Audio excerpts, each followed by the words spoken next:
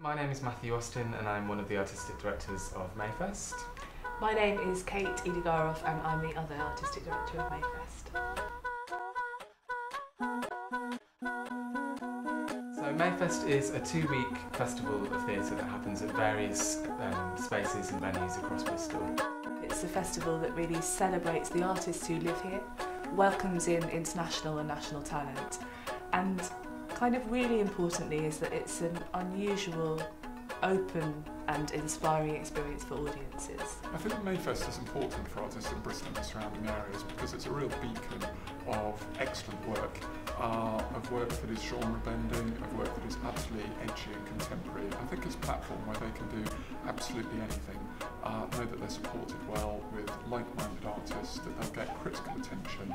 I don't think that there's another forum quite like it when Mayfest is on, everything else kind of just has to like pause for a little bit whilst mm. I like go through the brochure and like plan my schedule. Theatre of all different kinds from slightly more conventional uh, comic theatre pieces with a lot of physical theatre to extraordinary pieces where you'll be one person going into a small caravan next to Arnolfini.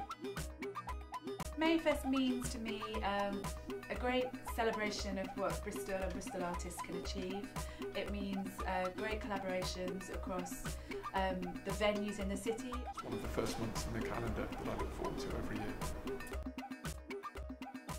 The thing that's, that feels really difficult about this year um, is that there just is less money around. And as our kind of ambitions for the festival get um, get clearer and, to be honest, get more ambitious, we need to somehow square that ambition and making those things possible for, for audiences and artists that we work with, with the fact that we just need a bit more cash. It's really important for people to support Mayfest because um, there's not many opportunities as uh, as an artist uh, making the kind of work that we make to show work in this country in an environment that supports that work, um, understands that work, and gives uh, that work to a really wide variety of people and to a big audience. Experimental, surprising, playful. Uh... Oh my god, extraordinary theatre right across Bristol in May. Hyperbolic, jam packed adventures in theatre.